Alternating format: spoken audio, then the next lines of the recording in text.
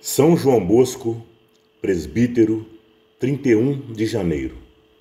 João Melchior Bosco nasceu no dia 16 de agosto de 1815, numa família católica de humildes camponeses em Castelnuovo d'Asti, no norte da Itália, perto de Turim.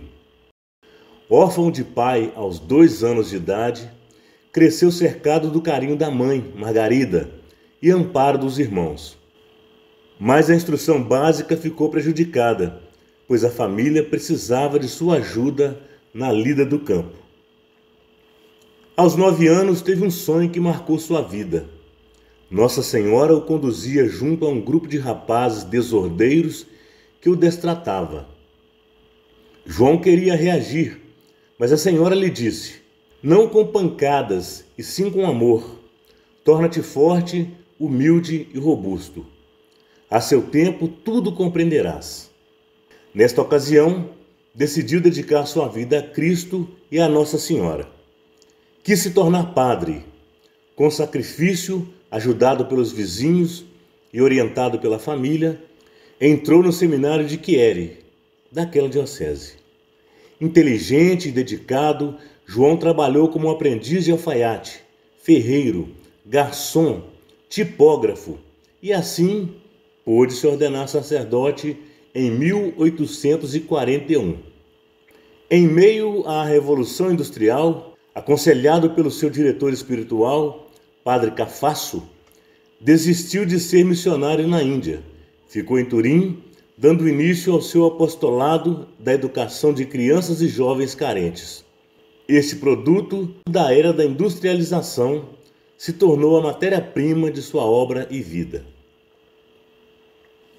Neste mesmo ano, criou o Oratório de Dom Bosco, onde os jovens recebiam instrução, formação religiosa, alimentação, tendo apoio e acompanhamento até a colocação de um emprego digno.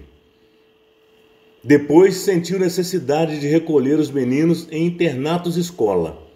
Em seguida, implantou em toda a obra as escolas profissionais, com as oficinas de alfaiate, encadernação, macenaria, tipografia e mecânica, respostas às necessidades da época.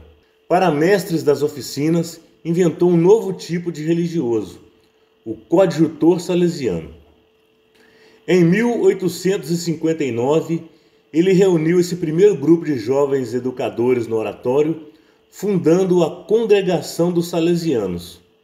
Nos anos seguintes, Dom Bosco criou o Instituto das Filhas de Maria Auxiliadora e os Cooperadores Salesianos. Construiu em Turim a Basílica de Nossa Senhora Auxiliadora e fundou 60 casas salesianas em seis países.